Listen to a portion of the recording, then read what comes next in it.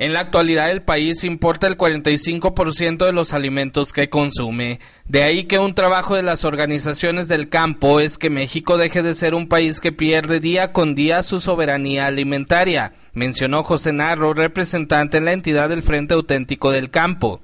De 25 años desde la firma del Tratado de Libre Comercio, pues nos da el escenario de que las cosas han cambiado y sobre todo han empeorado en el campo mexicano. Eh, tenemos eh, que cuando se firmó el tratado se importaba cerca del 19% de los alimentos a nivel nacional, ahora importamos el 46% de los alimentos a nivel nacional.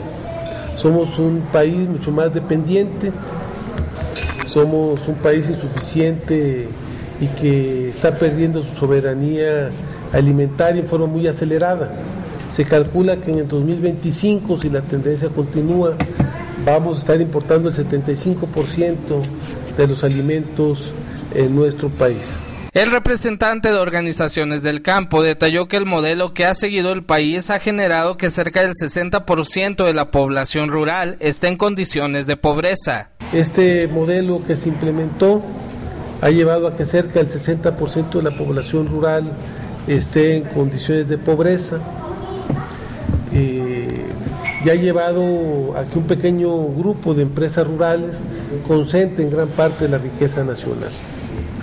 Eh, prácticamente el 90% de los subsidios y de los apoyos eh, lo concentran las grandes empresas como Bimbo, Maseca, Lala,